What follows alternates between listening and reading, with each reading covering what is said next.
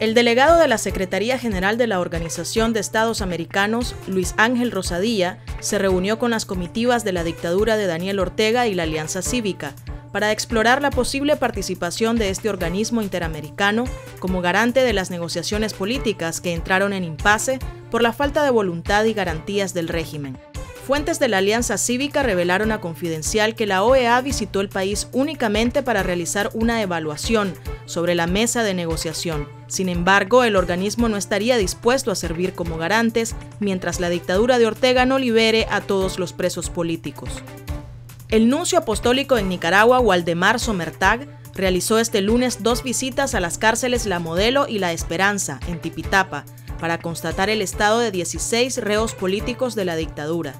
Según un comunicado de la Anunciatura, los manifestantes de la protesta cívica habrían expresado sus preocupaciones y esperanzas al representante de la Santa Sede en Nicaragua. Las fotos divulgadas por la Anunciatura muestran a los periodistas Lucía Pineda Ubau y Miguel Mora y a los principales líderes nacionales y comunales de la rebelión cívica, como Medardo Mairena, Amaya Coppens, Edwin Carcache y Cristian Fajardo. Sin embargo, las autoridades de la cárcel La Modelo no permitieron que Yubran Suazo fuera visto por el nuncio apostólico. Según el Comité Pro Liberación de Presos Políticos, Suazo habría sido brutalmente golpeado y recluido en la celda de máxima seguridad conocida como el Infiernillo. El viernes pasado, Suazo grabó un video desde el interior del penal mientras sus compañeros protestaban desde el techo de la cárcel. El tema de la crisis política de Nicaragua será abordada en las sesiones del Parlamento Europeo este miércoles 13 y jueves 14 de marzo. El impasse de la negociación entre el régimen de Ortega y la Alianza Cívica será uno de los temas de discusión que finalizará con una resolución que contemplaría sanciones en contra de la dictadura.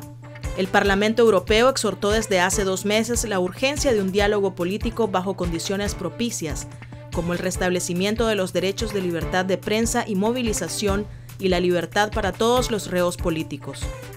Entre 2009 y 2018, el margen de comercialización anual de las petroleras nicaragüenses subió de 54 millones a 142 millones de dólares, es decir, un incremento de 88 millones, de los cuales 38 millones fueron un efecto del aumento en el volumen de venta y al menos 50 millones fueron por el alza del precio de los combustibles.